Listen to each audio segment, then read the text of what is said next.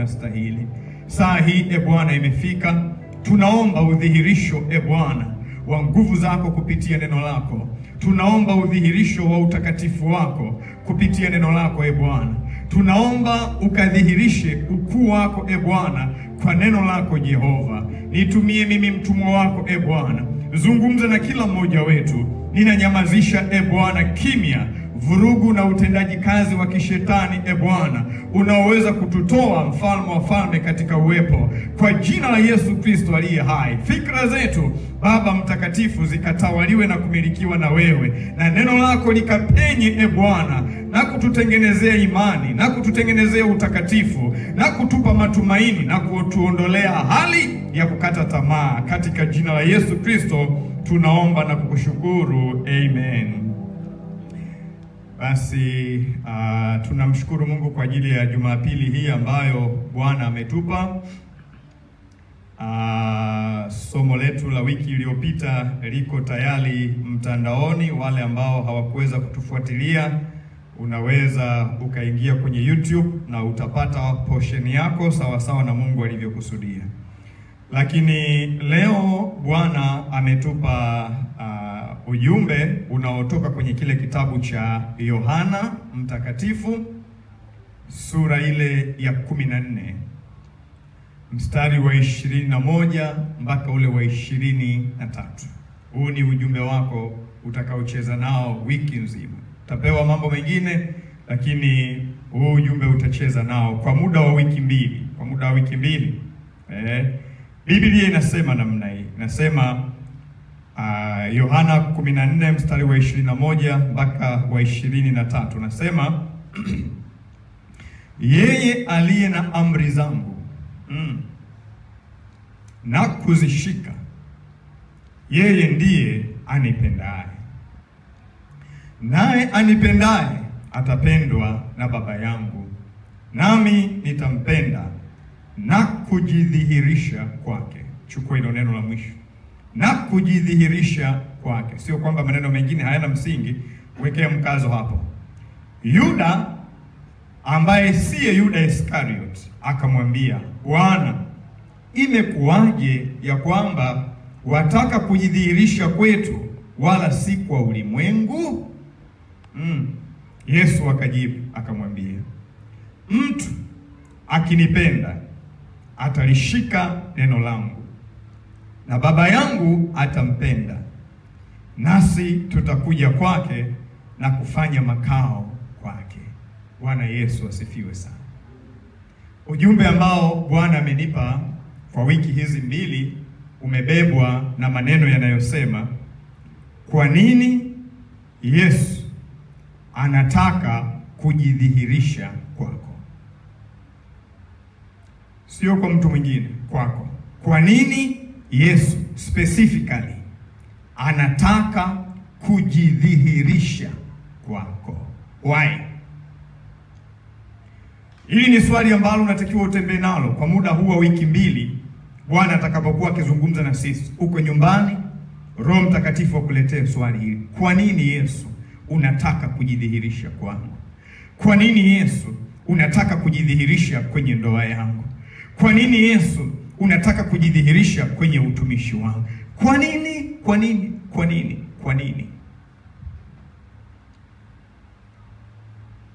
Na kifungu cha maneno tumesema iko Yohana sura ya 14 mstari wa 21 mpaka wa 23.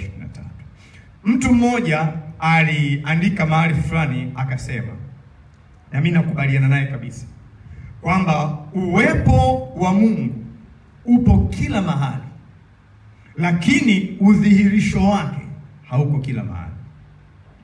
Chukua hii. The presence of our God is everywhere, but his manifestation is not everywhere. Uwepo wa Mungu uko kila mahali, nyumbani kwako, hapa tulipo, wewe uko kwenye daladala, lakini udhihirisho wake au madhihirisho yake hayako kila mahali.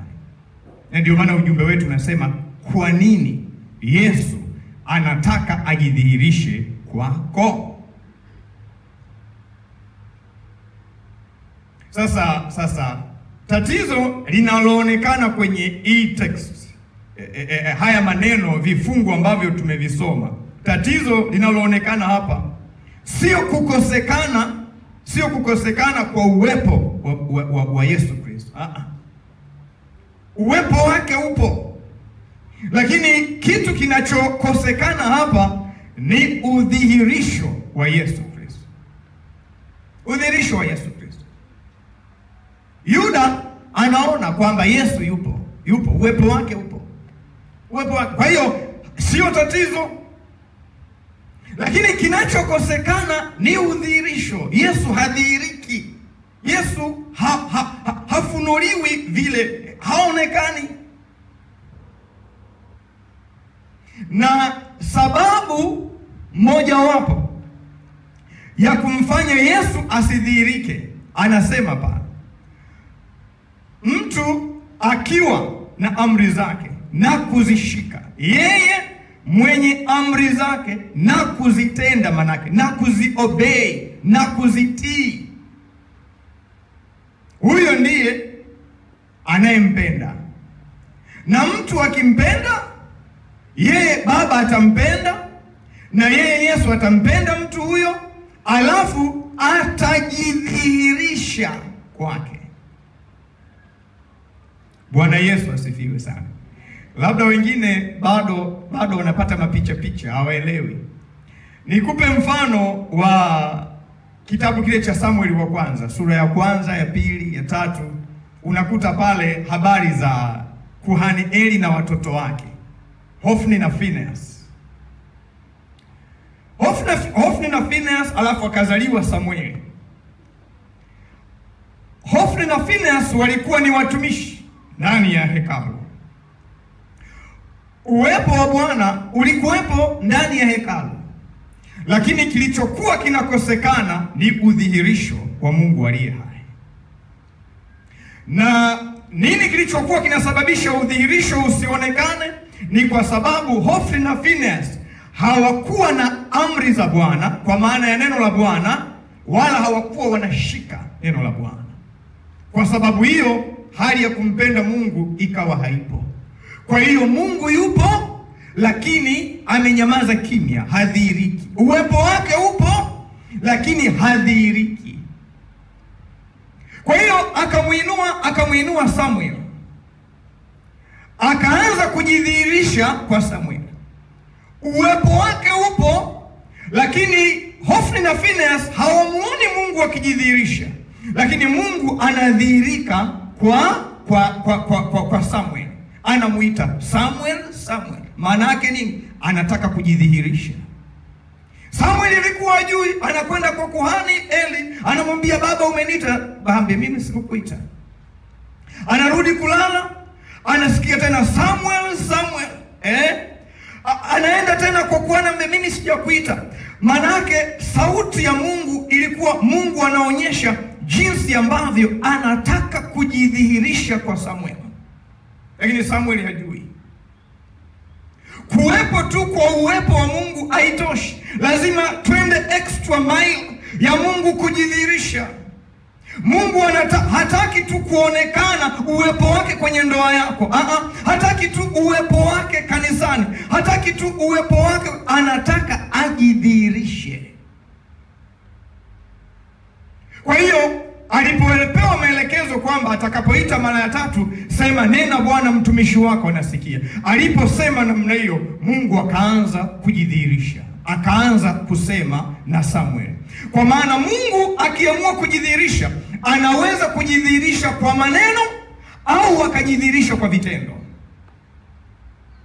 Kwa hiyo akamweleza aliyeweza kumweleza. Ndio maana unaona baada ya pale, baada ya Mungu kujidhihirisha kwa Samuel, unaona maisha ya Samuel yanakuwa tofauti na maisha ya hofri na Finehas. Kanisa ni hilo hilo moja, mahubiri ni hayo hayo moja, lakini hawa ni waasherati, huyu wamekataa uzinifu. Kwa nini? Tofauti ni madhihirisho ya Mungu kwa sababu Mungu alijidhihirisha kwake, akamwambia jinsi ambavyo atakwenda kuihadhibu nyumba ya Eli. Kwa hiyo ile hali ambavyo Mungu alipojidhihirisha aki, akiangalia namna hii inampa kukua, inampa kuimarika, inampa kumhofu Mungu. Kwa hiyo wenzake hawana madhihirisho, lakini uwepo wa Mungu upo, wanafanya ibada, wanaimba, uwepo wa Mungu upo, ila hawa, ha, hawana madhihirisho ya kumfahamu Mungu kama vile kama vile eh, eh, eh, eh, eh, eh, eh, Samuel alivyodhihirishiwa. Kwa hiyo wote wanakuwa kanisa moja, lakini hawa wazinifu, lakini huyu ni mtakatifu. Kanisa ni hilo hilo, mahubiri ni hayo hayo, nyimbo ni hizo hizo. Bwana Yesu asifiwe. Ndiyo maana Roho Mtakatifu wa kutengenezea shauku, shauku ya kumwona Yesu anajidhihirisha kwako. Kanisa litakuwa hili hili lina potas, lakini wakati wengine wanaenda kwenye zinaa wewe kwa sababu Mungu kwako, unasema a a, jinsi Mungu alivyonisemesha, jinsi ambavyo Mungu nimemwona, jinsi Mungu, haiwezekani, haiwezekani. Wewe waache wao wafanye unavyofanya. Wakati wengine wanakuja ibadani saa tano saa sita, wewe Mungu alivyojidhirisha unasema ah, waache waache, lakini mimi Mungu amejidhirisha kwangu, haiwezekani. Huyu ni aliyejidhihirisha, nitafika pale kabla masaa ambayo Mungu ametaka nifike. Kwa nini? Tofauti ni nini? Mahubiri ni hayo hayo, neno ni lile linatukuza mchungaji, lakini uwepo wa Mungu upo kwetu sote. Tofauti ni kwamba Mungu amejidhihirisha kwa mwingine, lakini kwako hajajidhihirisha, na sababu ziko. Anasema yeye aliye na neno langu na kulitenda. Inawezekana unalo neno lake, lakini hulitii. Inawezekana hauna neno lake, na kwa sababu hiyo hauna cha kutii. Kwa hiyo pendo lako kwa Baba halipo.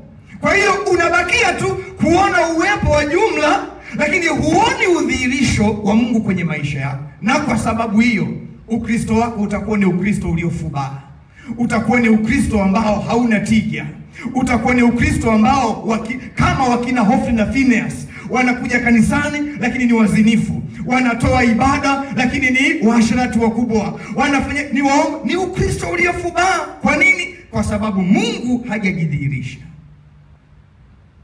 Kwa nini? Yesu anataka kujidhihirisha kwetu. Hali hii ndugu yangu, ndugu zangu, ndiyo iliyopo kwenye kanisa la sasa. Tatizo hili ndilo lililopo kwenye maisha yetu. Yesu yupo kwenye familia zetu, lakini hajidhihirishi.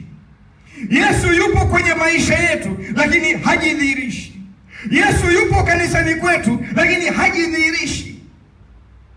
Kwa hiyo hatukui, kwa hiyo hatuongezeki commitment yetu kwa Mungu haionekani. Kwa sababu gani? Tumekosa sio uwepo wa Bwana, tumekosa udhihirisho wake. Ndio maana ndio maana ndio maana wanaokwenda kwa waganga, mganga akimwambia dawa hii uogee hii dawa saa tano eh, asubuhi au saa kumi na mbili njia panda, atalishika hiyo amri ya mganga na ataitekeleza. Kwa nini? Kwa sababu anataka madhihirisho. Yesu anasemaje?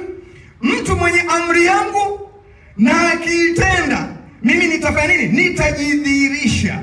Anayekwenda kwa mganga akipewa masharti na vigezo, lazima avishike, avitende ili apate udhihirisho. Ndio maana juzi kati kule barabarani, mtaa huu hapa alikutwa mtu saa kumi na mbili anaoga njia panda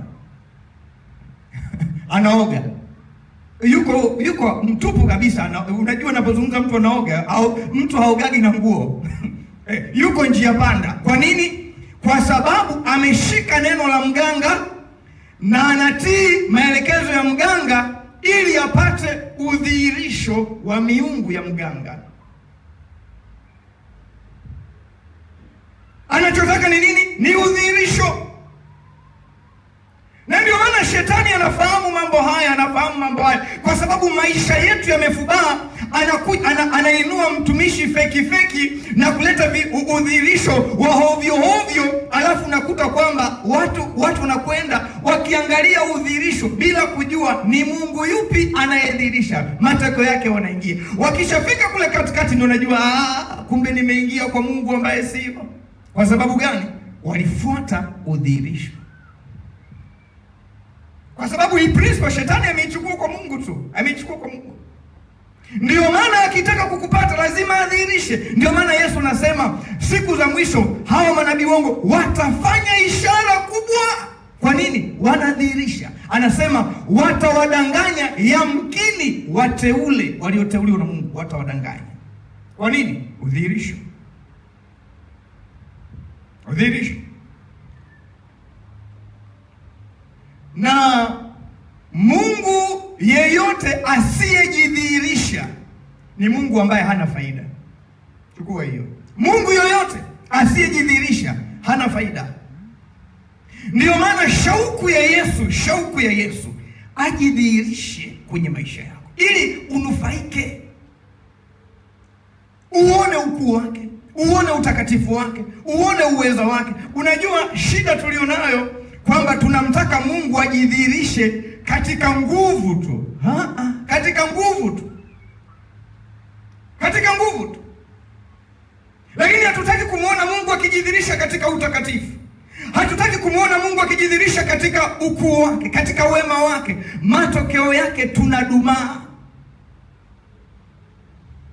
Ndio maana wewe angalia, angalia watu wangapi, watu wangapi kwenye madhabahu hii, hata sio hapa, mahali pengine, sema wametolewa mapepo, wametolewa mapepo. Kutolewa mapepo ni udhihirisho wa kwamba nguvu za Mungu, yapo, ndiyo. hata mapepo wanaweza kuwatoa mapepo, lakini kwa Mungu tunayemwabudu sisi, mtu akitolewa mapepo hapa, maanake Mungu anatudhihirishia nguvu zake. Ni wangapi baada ya kuona kwamba mapepo, watu wameanguka, mapepo wametolewa, yani ile hali ikawaongezea uh, utakatifu wao kwa Mungu, kumhofu Mungu. Nakutana ni kitu cha kawaida tu, wala haoni kwamba kwamba hizi ah, ni nguvu za Mungu. Maanake Mungu anatuambia yuko, tunatakiwa tumpende, tumche. Anaona ni kawaida. Mimi mimi kwa nafsi yangu siwezi kutoa mtu mapepo. Ukiona mapepo yamelipuka yametoka, yani ujue Mungu mwenyewe ndiyo amemhudumia, na ile itoshe kutugeuza mioyo yetu imgeukie Mungu. Bwana Yesu asifiwe.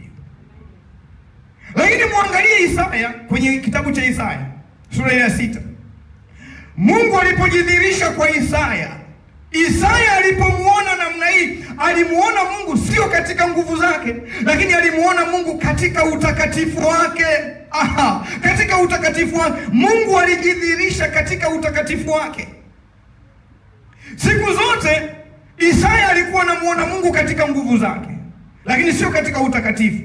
Kwa hiyo akawa ni mtumishi, lakini ni muongo muongo tu, ni mtumishi, lakini ni mbabaishaji, muhuni muhuni tu. Siku hiyo alipokufa mfalme Uzia, Biblia inasema, Isaya anasema nilimuona Bwana amekaa kwenye kitu chake cha ufalme na vazi lake limetandaa huko na huko, anang'aa namna hii. Nimemwona katika utakatifu wake, alivyojidhihirisha namna ile. Isaya alipopata madhihirisho yale, akajiangalia namna hii, akasema ole wangu, kwa sababu eh, macho yangu yamemwona Bwana. Akasema ole wangu mimi, kwa sababu mimi ni mtu mchafu nani, mtu mwenye midomo michafu, ninakaa katikati ya watu wachafu. Kilichomfanya ajione sasa na sio jana ni nini? Jana uwepo wa Mungu ulikuwepo, lakini udhihirisho ulikuwa haupo. Leo amemuona Mungu katika utakatifu wake. Ndio maana wakati mwingine namwambiaga Bwana, sijui ulivyo mtakatifu. Ndio maana wakati mwingine nakuwa mtu mchafu mchafu tu, kwa sababu sijui. Hebu nionyeshe utakatifu wako. Ni kitu gani kilichowafanya wazee ishirini na nne waanguke namna hii, waseme mtakatifu, mtakatifu, mtakatifu? Naambia Mungu, naomba nikione hicho, ili nisione tu kwamba utakatifu ni kitu cha kule. Nidhihirishie Bwana, nidhihirishie.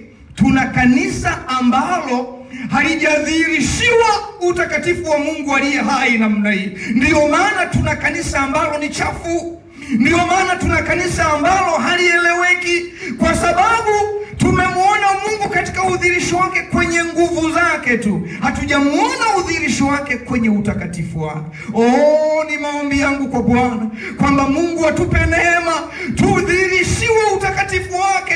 Mungu akikudhirishia utakatifu wake namna hii, utakaa chumbani mwako na kumwambia mtakatifu, mtakatifu, nitengeneze mimi niwe mtakatifu, niondolee kiburi na mashindano, ninahitaji kuwa mtakatifu. Kwa nini? Kwa sababu amejidhihirisha kwako kama Mungu mtakatifu.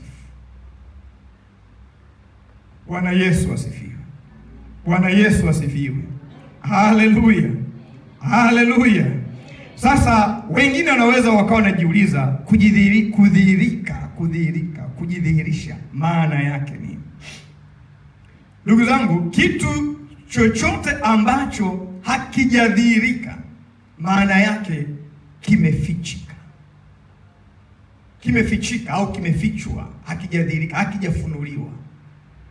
Ndio maana Yesu anasema kwenye Mathayo sura ya 11 mstari wa 27 mpaka 28 kule anasema hakuna amjuae Baba ila Mwana, na hakuna amjuae Mwana ila Baba, na yule ambaye Mwana apenda kumfunulia au kumdhihirishia. Tuko pamoja? Kwa sababu gani? Kwa sababu Yesu amefichwa. Ili umfahamu lazima adhihirishwe, lazima afunuliwe, lazima afunuliwe. Sasa neno dhihirisha, maana yake kwa mujibu wa kamusi ya Kiswahili sanifu TUKI, dhihirisha maana yake fanya ijulikane. Yesu anapojidhihirisha anataka umjue. Nimekwambia asubuhi somo linalokuja kwenye semina e, je, unamjua Mungu unayemwabudu? Kama hajidhihirishi, unamwabudu Mungu gani? Kwa sababu humjui, hujui uweza wake, hujui ukuu wake, hujui utakatifu wake, hujui mamlaka yake, hujui utamheshimuje Mungu wa namna hiyo. Haiwezekani, haiwezekani, haiwezekani. Kwa hiyo fanya ijulikane. Ya pili, onesha wazi wazi. Dhihirisha maana yake onesha wazi wazi tabia yake, nguvu zake, mipango yake, makusudi yake, anayaonyesha wazi wazi utukufu wake. Kudhihirisha yake ni kuweka bayana. Kudhihirisha maana yake ni kutofautisha. Akidhihirika hapa Yesu Kristo, lazima umtofautishe na miungu mingine yote. Lakini kwa nini leo watu hawawezi kumtofautisha Mungu aliye hai na miungu mingine? Kwa nini? Kwa sababu hajadhihirika kwao, hajadhihirika kwao. Ndio maana wanaweza wakafikiri Mungu anaweza kufananishwa na vitu kama mafuta, maji, sijui nini, wakafanya fanya hivyo. Kwa nini? Kwa sababu hajadhihirika, hawamjui, hawawezi wakamtofautisha.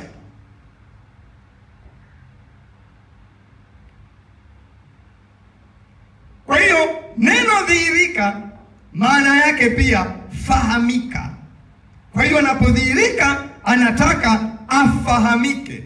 Labda labda niku nikujengee ufahamu.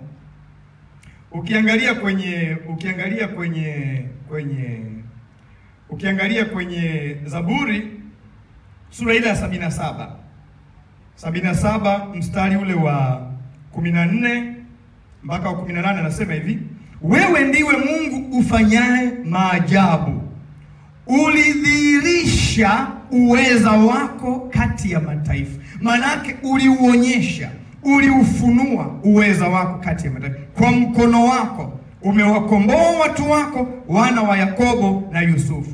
Ee Mungu, yale maji yalikuona, yale maji yalikuona yakakuogopa, vilindi vya maji navyo vikatetemeka. Kwa nini? Kwa sababu alidhihirika. Kwa nini wakina Rahabu mioyo yao iliyeyuka namna hii eh? Wakati wakina wakina Joshua wanaikabili Jeriko, ni kwa sababu Mungu alijidhihirisha. Kwa hiyo miungu mingine iliposikia Mungu wa kina Joshua, mioyo yao ikayeyuka. Watu wa Potas, tunahitaji Mungu tunayemwabudu ajidhihirishe kwenye maisha yetu, ajidhihirishe kwenye ndoa zetu, ajidhihirishe kanisani kwetu. Watakapomsikia Mungu tunayemwabudu, mioyo yao iyeyuke, wajue kwamba tunamwabudu Mungu aliye hai, Mungu ambaye hakumwacha Yesu Kristo kwa wafu, Mungu aliyemfufua Yesu Kristo, anayeweza kumbadilisha kahaba akawa mtakatifu, anayeweza kuponya kansa ikapotea kama hakukuwa na kansa, anayeweza kuleta mabadiliko katika maisha. Glory be to God. Lakini ukiangalia ukiangalia kwenye kwenye kitabu cha Ezekiel ukiangalia kwenye kitabu cha Ezekiel sura ile ya thelathini na nane mstari wa ishirini na tatu napenda haya maandiko. Mstari wa ishirini na tatu Ezekiel 38 anasema hivi, nami nitajitukuza na, kuji, na kujitakasa na kujidhihirisha mbele ya macho ya mataifa mengi, nao watajua ya kuwa mimi ndimi Bwana. Watajua ya kuwa mimi ndimi Bwana. Akijidhihirisha, anataka ujue kwamba yeye ndiye Bwana. Glory be to God. Bwana Yesu asifiwe. Sasa kwa nini Roho Mtakatifu ameamua kutupa somo hili? Roho Mtakatifu ameamua kutupa somo hili kwa sababu kama mbili e, tatu hivi za msingi. Sababu ya kwanza ana, anataka kukujulisha nia, kukujulisha nia ya Yesu ya kujidhihirisha kwako, ili hiyo hali ikupe kiu na shauku ya kwenda mbele za Mungu kwa ajenda, yaani iwe ndiyo ajenda yako, kwamba Bwana, kwa sababu unataka kujidhihirisha, jidhihirishe kwenye ndoa yangu. Kwa sababu unataka kujidhihirisha, jidhihirishe kwenye usichana wako, Kwa sababu unataka ku... yaani Roho Mtakatifu anataka akubebeshe hiyo kama ajenda. Hajadhihirika, hujaiacha hiyo ajenda. Bwana Yesu asifiwe. Kwa sababu uwepo wake tu hautoshi kukufanya maisha yako yasogee. Unahitaji kumwona adhihirike kwako. Kuna kipindi nawaambiaga hapa, nilipata ajali. Kwenye ile ajali Mungu alijidhihirisha. Gari ilikuwa hovyo, lakini mimi nilitoka salama, niliumia tu hapa tu. Yaani Mungu alijidhihirisha, nilimuona namna iko, yaani nilitoka pale nalia, nalia. Maisha yangu yalibadilika from that day. Simchukulii Mungu poa kama vile watu wanavyomchukulia, kwa sababu naona maisha yangu yalishafutika. Haya ninayoishi sio yangu. Ndio maana huwezi kunikuta naleta mchezo kwenye utumishi Mungu alionipa. Kwa nini? Kwa sababu najua kama ni hela ilikuwa sio yangu tena, kama ni huduma na ilikuwa sio tena, kwa sababu nilikuwa nimeshafutika. Kwa hiyo alikuja kwenye ile ajali ili kujidhihirisha kwangu. Nilivyokuwa na mfahamu kabla ya ajali ni tofauti na nilivyomfahamu baada ya ajali. Baada to, ni tofauti kabisa, ni vitu tofauti.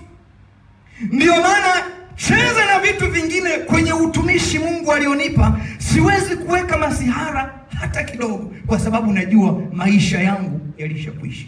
Haya ninayoishi ni ya Bwana peke yake. Siwezi kumpa mtu maisha yangu, kwa sababu yale ya kwangu ya kuwapa watu yaliisha. Ndio maana Bwana amejidhihirisha.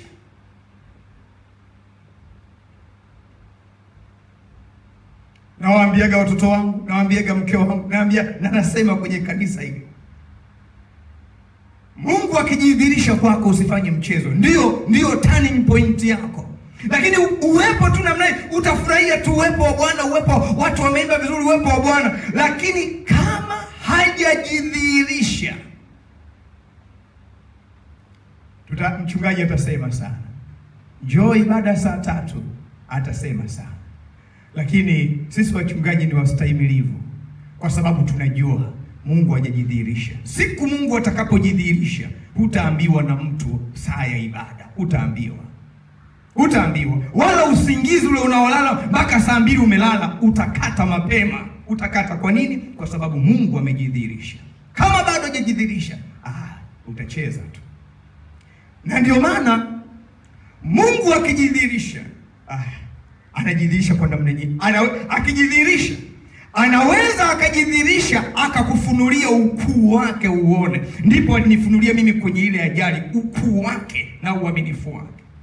Lakini kuna saa Mungu akiamua kujidhirisha, anajidhirisha katika ghadhabu, analeta hukumu yake kwako. Sasa hiyo usiombe. Ndio maana alichopeleka kwa wakina Phineas na Hofni ilikuwa ni udhihirisho wa hasira ambao ulikwenda ukawaua ukawaua. Ndio maana anasema aonywaye mara nyingi atakwambia atakwambia, akija na udhihirisho wa hasira, kama ni hiyo ndoa anaifuta kabisa, kama ni hayo maisha anayafuta kabisa. Ndio maana alimwambia namna hii, alimwambia namna hii Hezekia, alimwambia Hezekia, alimwambia Isaya, kamwambie Hezekia anakufa.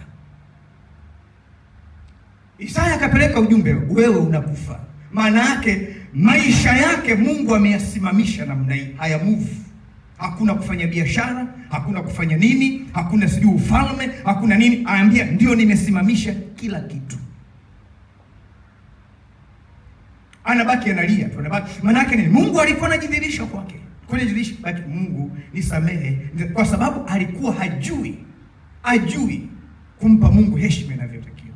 Mungu alipokuja kujidhihirisha anakuja na maneno makali. Kumbuka nimekwambia, Mungu anaweza kujidhihirisha kwa matendo au kwa maneno. Kwa hiyo alikwenda kwake kwa matendo, amesimamisha maisha yake namna hii, hakuna tena. Lakini jambo la pili, kwa nini Roho Mtakatifu ametupa somo hili? Roho Mtakatifu ametupa somo hili ili akutengene, a, a, ili, ili uweze kumtengenezea Yesu mazingira ya kujidhihirisha, alafu eh, eh, ili, ili, ili, iweze kumtengenezea mazingira ya kujidhihirisha. Lakini pointi ya tatu, kwa nini Roho Mtakatifu ametupa somo hili? Ni kwa sababu anataka tumfahamu Yesu katika ukuu wake alafu tumpe nafasi ya kututawala. Hilo ni jambo kubwa sana.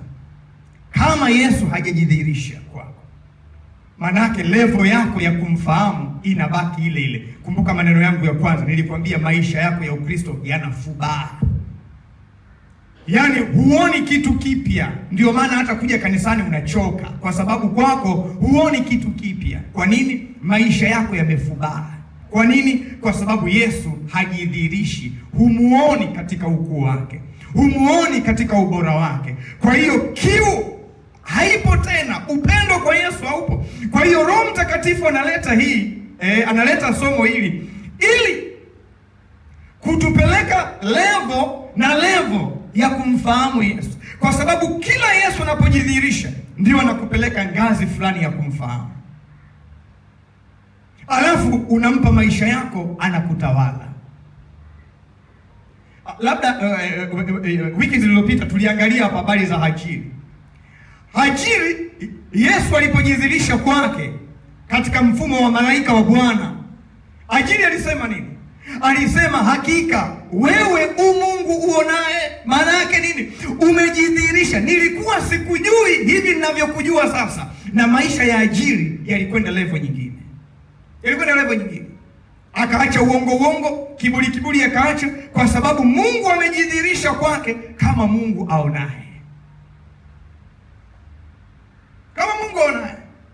Mwangalie Gideon, alikuwa hana amani, mwoga mwoga, amejificha kwenye mapango. Mungu alipojidhihirisha kwake kama Mungu wa amani, akasema Jehova Shalom, Jehova Shalom hofu zangu zote zimeondoka. Kwa nini? Kwa sababu levo ninayomfahamu Mungu sasa sio levo ya mimi kutishiwa na wachawi wachawi, kwamba eti umelogwa umefanya. Hizo levo nilishapita. Kwa nini? Kwa sababu Mungu amejidhihirisha kwangu kama Jehova Shalom, ni Mungu wa amani kwangu, Mungu wa amani. Hata ukiweka mapembe sijui nini kando ya nyumba, mimi Mungu wangu ni Mungu anayenipa amani, ananitosheleza kwa sababu amejifunua.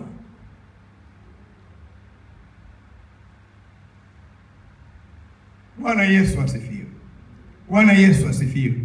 Kwa hiyo level ya eh, eh, kiwango ambacho Mungu anajidhihirisha kwako ndicho kiwango utakachoweza kumfahamu na kumpa Yesu maisha yako ayatawale.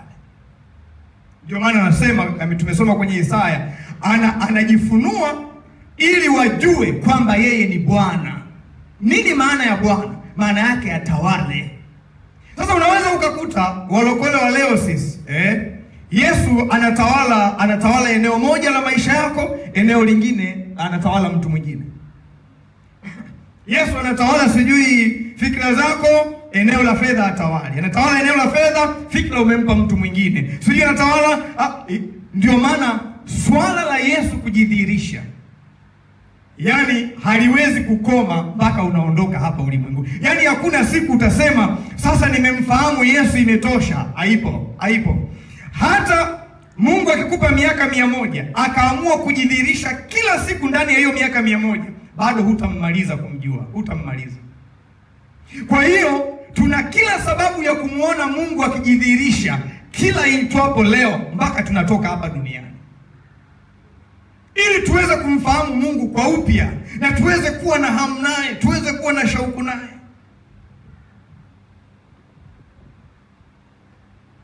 Bwana Yesu asifiwe sana, haleluya. Mwangalie Daudi kabla Mungu hajajidhihirisha kwake kwa habari ya dhambi yake, na baada ya kujidhihirisha, ni vitu viwili tofauti.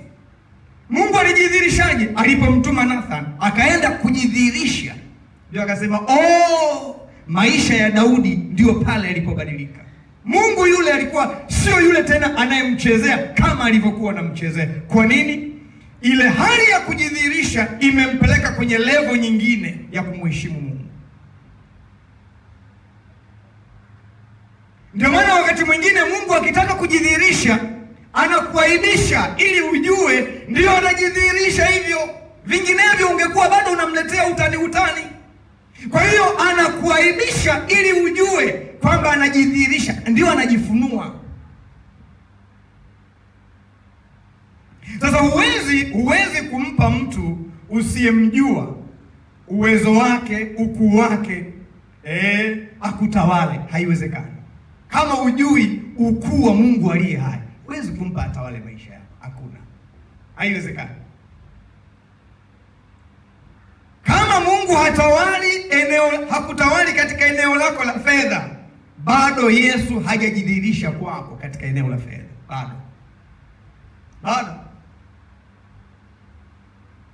Ndio maana waulize watu ambao eh, especially watumishi wa Mungu ambao wamepita kwenye mazingira hawana kazi, lakini bado watoto wanasoma, bado wanakula chakula, bado wanavaa. Manake Mungu amejidhihirisha kwenye eneo hilo la fedha kwa namna ambavyo huyu mtumishi hawezi kumwacha huyu Mungu, hawezi, kwa sababu amemuona, amemuona. Sina ambacho naweza nikajivunia kwamba hiki ndicho kinanizalishia kinaniingizia, lakini bado Bwana amenipreserve. Mungu wa namna hii unawezaje kumwacha? Mungu wa namna hii unawezaje kumvunjia heshima? Mungu wa namna hii akikupa appointment ya saa tatu unawezaje kwenda saa nne? Haiwezekani, haiwezekani, haiwezekani, kwa sababu amejidhihirisha, nimemwona. Ndio maana unafika mahali unaanza kulia, tunamwambia Bwana, ondoka kwangu mimi mwenye dhambi. Utaona wiki ijayo tunakoelekea. Ni somo ambalo najaribu tu kuli, kulishorten namna hii, lakini mimi mwenyewe nalifurahia hili somo. Mwangalie Maria Magdalena, Mungu alipojidhihirisha kwenye maisha yake kwa kumtoa mapepo, akadhihirisha nguvu zake. Ah, Maria Magdalena eh, akamuelewa Mungu katika levo nyingine, katika levo nyingine akaona fedha tena sio kitu cha thamani, akachukua akachukua akachukua uh, mafuta yake ya bei kubwa, akaenda kummiminia Yesu Kristo. Kwa nini? Kwa sababu Yesu alijidhihirisha kwake, akatambua kama Mungu akutawali katika eneo la muda wako, wewe bado Yesu hajajidhihirisha kwako, hajajidhihirisha, hajajidhihirisha. Ndio maana nakwambia siku akiamua kustopisha maisha yako namna hii kama ya nani, kama ya Hezekia akamwambia, hey, tengeneza mambo ya nyumba yako leo, unakufa nastopisha. Hakuna kufanya biashara, hakuna kufanya nini, umekaa pale na ugonjwa hapo ndani, amestopisha kila kitu. Ndio utajua kwamba muda sio wa kwako, muda ni wa Mungu aliye hai. Uendi shule ufanyi nini, uhubiri ufanyi nini, anakwambia hey, nimestopisha, nimestopisha, kwa sababu anataka kujidhihirisha anataka kujidhihirisha. Mungu akijidhihirisha akakuponya huo ugonjwa unafikiri unafikiri utatamani kufanya kazi nyingine? Utatamani? Maanake ulikuwa huwezi kunyanyua mguu, huwezi kufanya biashara, huwezi sijui kwenda wapi, huwezi. Amejidhirisha akakuponya. Ni kitu gani unaweza kufanya zaidi ya kumwambia Bwana nitawale, nitawale? Sasa hivi kuna vitu vingi tu vinavyokutawala na kukumiliki, kwa sababu bado ni maombi yangu na wiki hizi zote ni kilio changu kwamba Mungu ajidhihirishe kwa kila mmoja wetu, na ninaamini wengi wenu mtakuja kusema hapa kwamba nimemwona Mungu akijidhihirisha, na maisha yako yatageuzwa. Maisha yako hayawezi kugeuzwa kwa sisi kuongea, mtu wa Mungu. Tunaweza tukaongea mpaka mishipa ikatutoka, tukakata tamaa, tukafa moyo, tukazungum, tukatoa hata laana na nini, lakini hiyo haitasaidia. Kitakachosaidia ni udhihirisho wa Mungu mwenyewe kwenye maisha yako.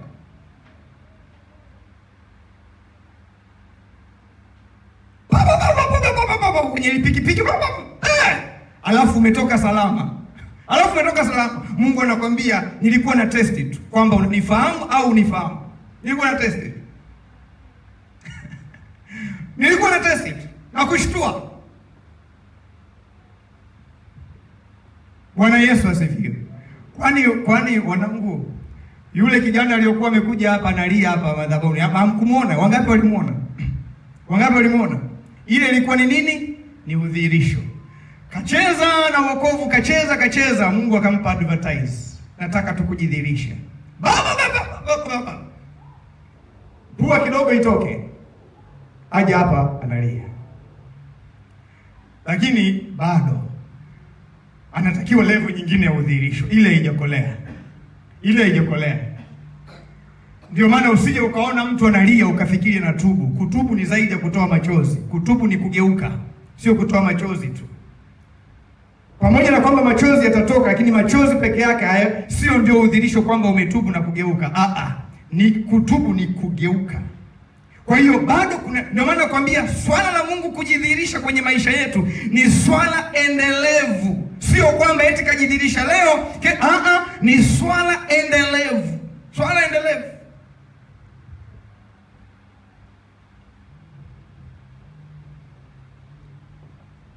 Bwana Yesu asifiwe sana. Sasa kama ndoa yako haitawaliwi na Mungu, bado Yesu hajajidhihirisha kwenye hiyo ndoa, bado. Ndio maana hujampa hilo eneo la ndoa kulitawala. Subiri, subiri. Kwa maombi tunayoyaomba, Mungu atajidhihirisha tu, atadhihirika na utajua, utajua kwamba Mungu ameamua kujidhihirisha kwenye ndoa yangu ili nimpe eneo la utawala. Sasa na utajua kwamba huwezi kujua thamani ya hiyo ndoa mpaka Yesu amejidhihirisha. Mimi nataka nirudie tena, sikujua thamani ya utumishi wangu na maisha mpaka pale ambapo Mungu alinitoa kwenye ile ajali. Sikujua, maisha yangu yalibadilika completely, completely complete nikawa kama ajili kabeda. da, Bwana wewe ni Mungu unionaye, tena wewe ni Mungu unilindaye. Hapa sio nguvu zangu wala chochote, nilikuwa naondoka, nilikuwa naondoka. Lakini sasa akishajidhirisha namna hiyo, hivi Mungu akikwambia naitaka hiyo hela yako, unawezaje ukamzuia? Akikwambia nakutaka wewe saa fulani mahali fulani, unawezaje ukamzuia? Uka, uka haiwezekani, haiwezekani. Sasa hapo ni kama nilikuwa kutengenezea msingi, sijagusa kabisa hilo somo, sijagusa kabisa. Nilikuwa na kujengea mazingira uelewe. Sasa swali la msingi kwenye teksti yetu, Yuda anauliza, Yuda anauliza eh, kwa nini unataka kujidhihirisha kwetu na si kwa ulimwengu? Why? Eh, kwa nini? Kwa sababu swali hili linakuja baada ya maneno ya Yesu kusema, mtu aliye na amri zake na kuzitenda, huyo atapendwa na Baba yake, alafu na yeye atampenda, alafu atajidhihirisha kwake. Yuda anamuuliza kwa nini unataka kujidhihirisha wewe? Kwenye Biblia ya Kiingereza Amplified Bible, ye, ye, Yesu anasema haya maneno, anasema I will let myself be clearly seen clearly seen in your marriage, clearly seen in your life and make myself real unto you. Clearly seen and make himself real, real, real. Sio kubahatisha bahatisha.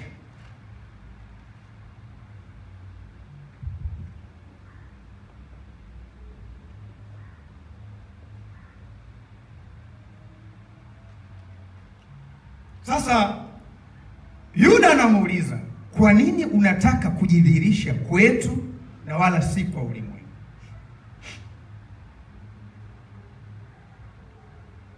Maana yake Yesu anaposema nitajidhihirisha, alikuwa anawaambia kwamba levo mnayonifahamu mimi bado ya chini, hamjanifahamu uweza wangu, upendo wangu, utakatifu wangu bado sana. Ndio maana hata hamuenjoy kuwa na mimi, hamuenjoy, hamuenjoy.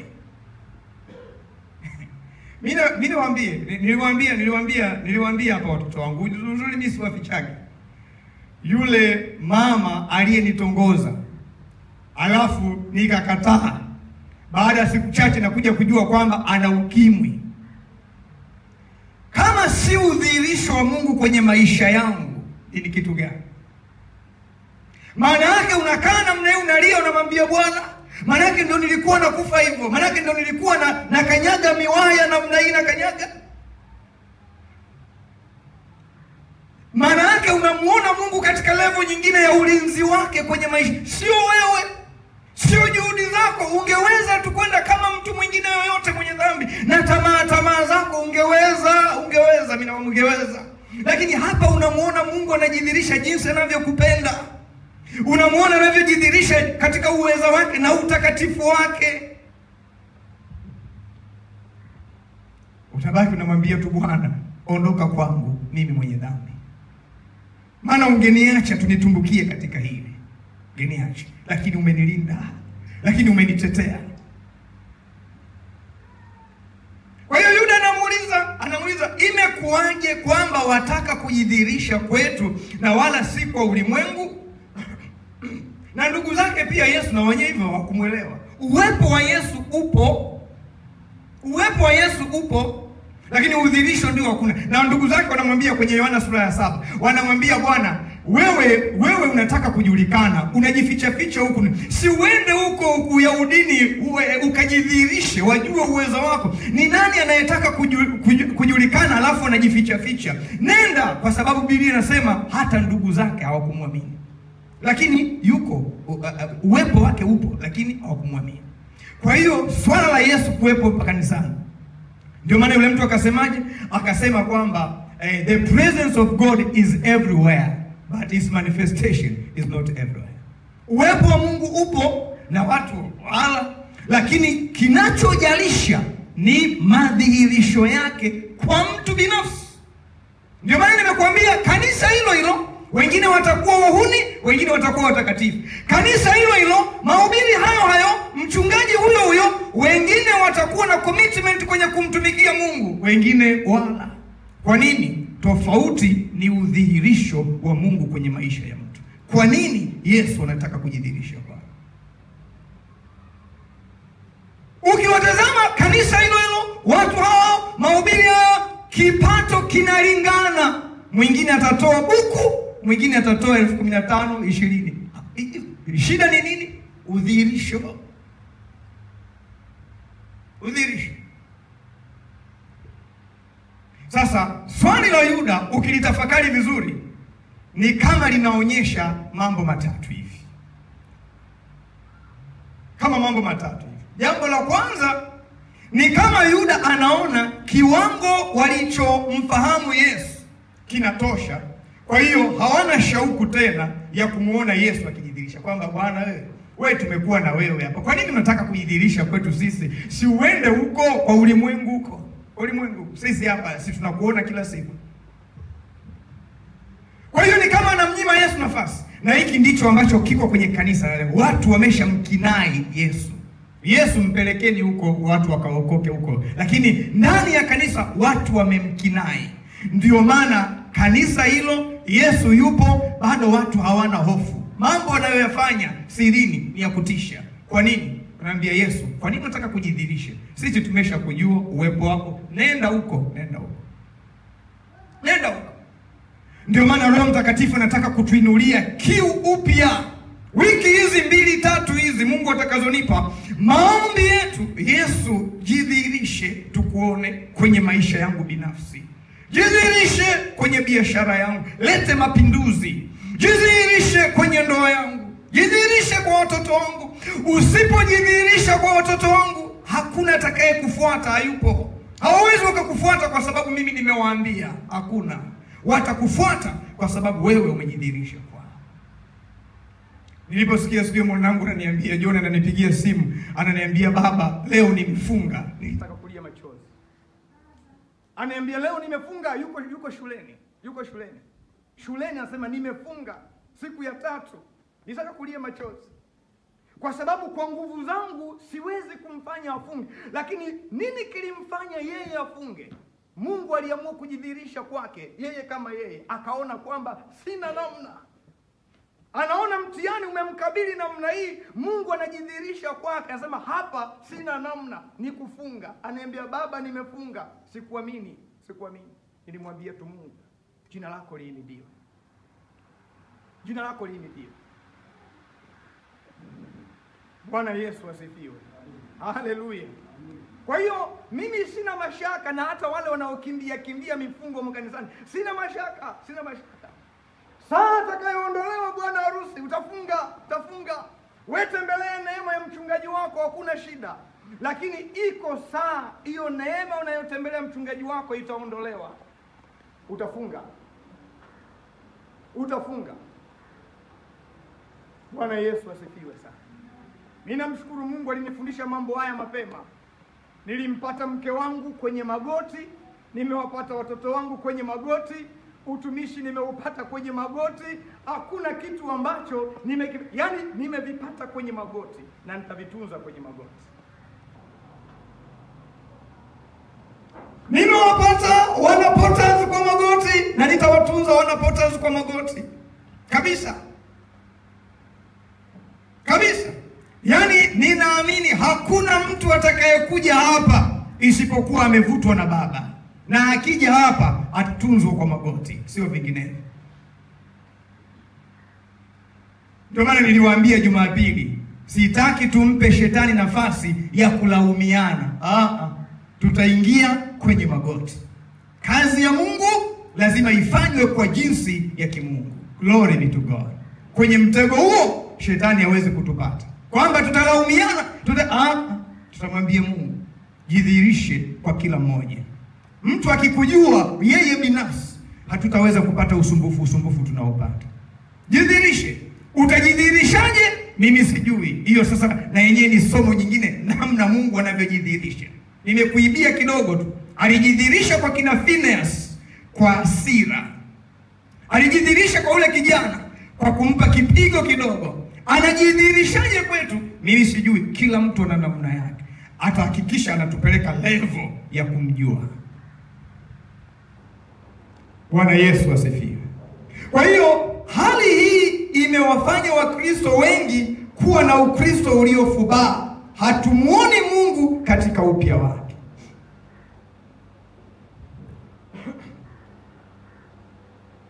Mke wangu huwa akitaka kunogesha mahaba huwa ananiambiaga, yaani nakuona vile ndio tumefunga ndoa leo vile, yaani hujawahi kuchuja, hujawahi kuchuja. Sasa Yesu, Yesu jamani, tunavyomuona leo eh, ni kweli yani tunamuona katika upya wake au tumemzoea? Ndio maana tumepoteza upendo wetu wa kwanza. Hofu ile tuliyokuwa nayo wakati ule ndio tunayo sasa kwa habari ya Yesu Kristo. Commitment tuliyokuwa nayo ndio tunayo sasa, au imefubaa? Ujue mahaba yameondoka. Ndio maana tumepoteza upendo wetu wa kwanza. Lakini jambo la pili kwenye swali la Yuda, bado tu na kudadavulia swali la Yuda. Jambo la pili ni kama Yuda anataka kujua lengo la Yesu. Kwa nini unataka kujidhihirisha kweli? Lengo lako ni nini? La kutaka kujidhirisha kwetu na si kwa ulimwengu, wakati sisi tupo tunakuona hapa, tumeokoka sisi, tumejazwa Roho. Lengo lako la kujidhirisha ni nini? Nataka kukwambia huwezi kuyafurahia maisha ya wokovu kama Yesu hajidhihirishi, Huwezi kuyafurahia, utaburuzwa buruzwa tu. Hapa watu wengi wanapoteza sana hapa, hawajui kuwa Yesu asipojidhihirisha, asipojifunua, huwezi kuongezeka katika kumjua, na usipoongezeka katika kumjua Yesu, huwezi kumfurahia, na usipomfurahia, akitokea Mungu mwingine na mashamshamu yake, we lazima utaenda, lazima. Kwa nini? Kwa sababu humjui uliyemwamini, humjui. Wengi hatujui kwa nini Yesu anataka kujidhihirisha. Tumeridhika na uwepo wake, kataa, haitoshi. Lakini jambo la tatu kwenye hili swali, swali la Yuda, nalichambua tu swali la Yuda hili eh, lina suggest vitu gani? Jambo la tatu kwenye swali la Yuda eh, ni kama vile Yuda ana, ana, ana, ana, ana, anaona kuwa a, a, a, a, a, a, kama Yesu ana shauku ya kujifunua, ana, ana suggest shauku ya Yesu ya kujifunua, kwamba kwa nini unataka. Anaonyesha kwamba Yesu anataka, Yesu anataka, Yesu ana shauku. Kwa nini unataka? Kwa hiyo anatuonyesha shauku iliyo ndani ya Yesu ya kutaka kujifunua. Anataka sana kujidhihirisha kwenye ndoa yako, ila umpi nafasi. Anataka sana kujidhihirisha kanisani kwenu, hamumpi nafasi. Anataka sana kujidhihirisha kwenye maisha yako, hamumpi nafasi. Kwa nini? Neno lake hamnalo wala hamlitendi. Nafasi naipatia wapi? Lakini neno la mganga unalo, kaweke hiyo kwenye chini ya carpet kwenye biashara yako kaweke, unalo na unalitekeleza. La Yesu hili ninalolihubiri sasa hivi, nikikuuliza Jumapili ijayo alipo.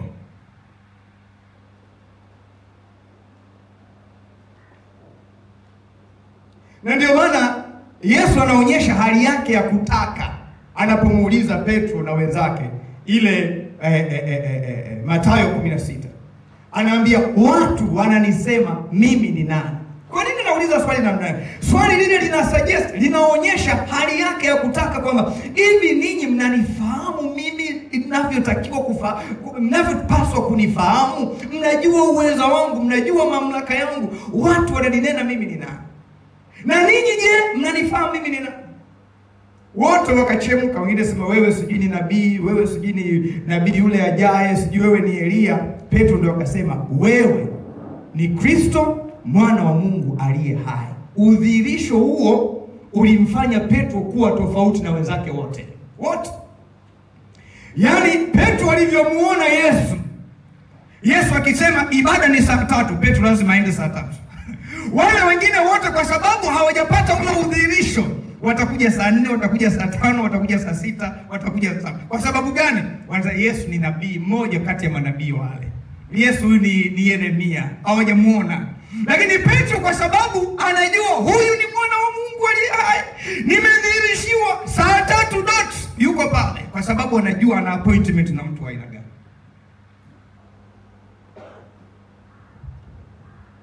Ndio maana alikuwa tofauti na wenzake wote. Kwa nini? Kwa sababu Yesu alijidhihirisha, akampa Petro kumjua yeye ni nani. Anaambia hiyo ume, umedhihirishiwa na Baba kuniona mimi unavyotakiwa kuniona.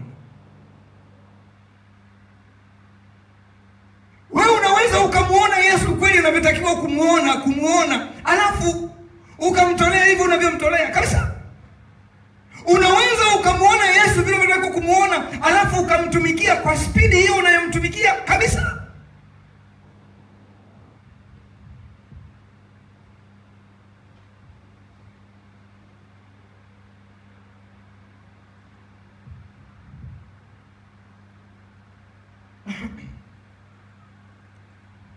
Mwangalie na kumalizia Yesu kama umpi nafasi ya ku ya ku ya, ku, ya kuondoa ile kiu yake ya kutaka kujidhihirisha. Yeye kaforce akaforce. Mwangalie Hana, Mungu alitaka kujidhihirisha kwake, eh, atafanya nini? Akaminya tumbo lile, akaminya tumbo lile. Na tena mimi eh, niseme kwa wema tu, ninyi ambao hamjaoa na kuolewa, msitukane eh, mamba kabla hamjavuka nini, hamjavuka mto. Mpendeni Mungu wanangu. Mungu akikuona wewe unacheza cheza, yani unaweza ukamsababisha, unaweza ukamsababisha akafunga hilo tumbo nywi, alafu anakwambia olewa. Wewe si ulikuwa unalingalinga? nikikwambia ibada unakuja muda unaotaka, nikikwambia huduma unafanya kama iko kipawa ni cha kwako. Sasa nataka nikushughulishe, nijidhihirishe, jidhihirishe. Mwaka wa kwanza mtoto hakuna, mwaka wa pili eh, mtoto ulikuwa wewe mchelewaji wa ibada ambona Ah, utanyoka mwenyewe? Utanyoka, utanyoka. Kwa hiyo Hana akawa anakwenda ibadani, hata siku sio za ibada, anakwenda kulia pale, lakini kabla ulikuwa huwezi kumkuta, huwezi kumkuta, niko bize, niko bize, niko bize, bize, bize, niko Mungu akaamua kusimamisha maisha yake na huo ubize shop. Aliingia hekaluni, ukimuuliza ule ubize uko wapi, sijui, sijui Akaamua kusimamisha maisha yake, analia, midomo inakwenda mpaka mchungaji wake namwambia sema, ninyi wanawake walevi walevi mnakuja. Sema mchungaji, mimi sijalewa, mimi ni mwanamke mwenye uchungu chungu, ndio maana nimekuja. Watu wako ibadani, mimi nimekuja, ninalia nini, nataka tumbo lifunguliwe. Mungu alipojidhihirisha namna ile, akaamua kufungua tumbo na kumpa mtoto wala hata mtoto hakutaka tena kuwa naye, akaambia namtupa huko huko kanisani. Ni mwanamke gani aliyesubiri mtoto kwa kwa hamu, alafu akapata mtoto akasema namtoa kanisani? Yupi? Maanake ingesema nikae naye nikae naye, lakini udhihirisho wa Mungu kwenye maisha yake, uwezo wake, mamlaka yake yakamfanya abadilike maisha kabisa. Kaambia hata huyo mtoto namtoa huko huko afanye kazi yako. Wewe Mungu amekudhihirishia, amekupa biashara na kufanikisha, unamtolea Mungu buku. anakusomesha unafaulu masomo, unamtolea Mungu buku. Mungu yupi? Yupi? Hujamjua, hujamjua, hujamjua.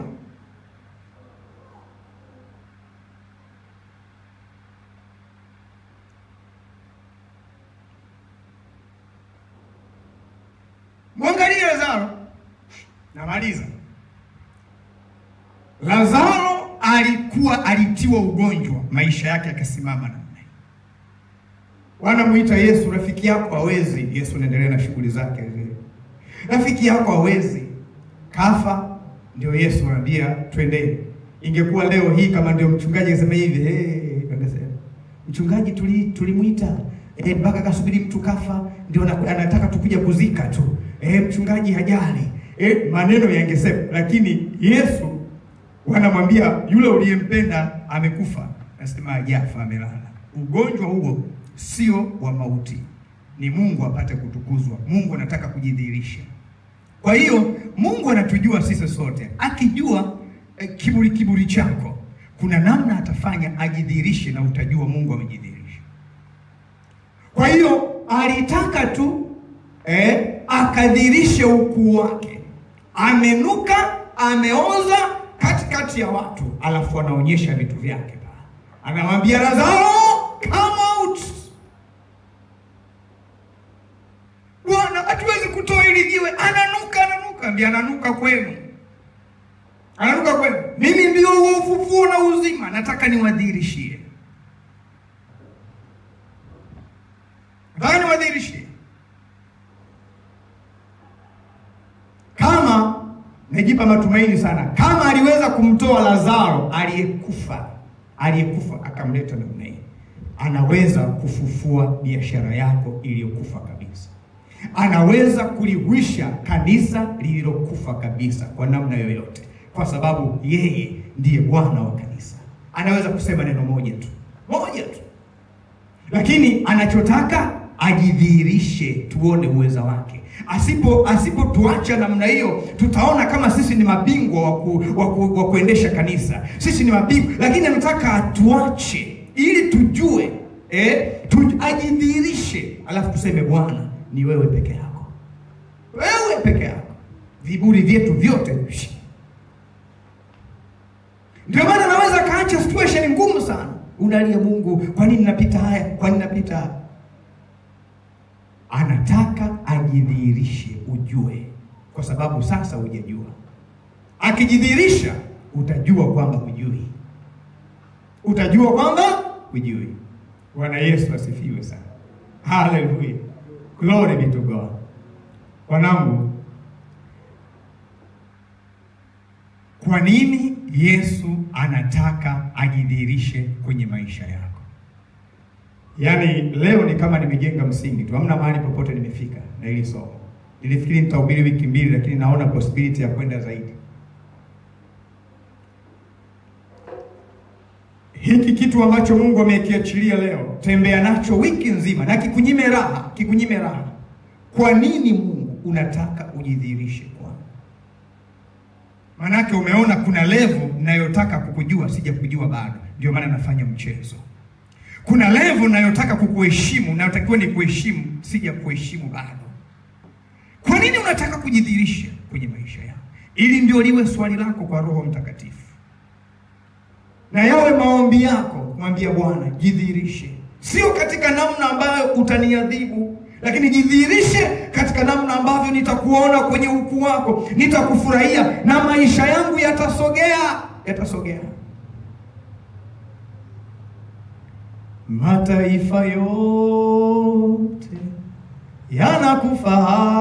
yanakufahamu kuwa wewe ni Mungu usiyeshindwa. Ningekuwa mimi ndio wewe, ningekuwa nimeshasimama na kumwambia Bwana, hakika kwa jinsi unavyojidhihirisha, mataifa yote yanafahamu ya kwamba hakuna Mungu kama wewe, na tunahitaji kuona Mbezi yote ya Msigani ifahamu kwamba hakuna Mungu kama wewe, hakuna Mungu kama wewe. Waujue utakatifu wako, wajue uponyaji wako, wajue mamlaka yako, wajue neema yako. Kwa nini Yesu unataka kujidhihirisha hapa Mbezi Msigani? Kwa nini unataka kujidhihirisha kwenye maisha yetu? Najua watu hawajanielewa bado. Ningekuwa mimi ndio wewe, mdomo wako ungekwishaanza kufunguka na kumlilia Mungu na kumwambia Bwana, umeniona, nimekosa udhirisho wako. Ndiyo maana maisha yangu yamebaki yale yale, ndiyo maana maisha yangu hayana hayana furaha, ndiyo maana maisha yangu yako hivyo hivyo. Jesus.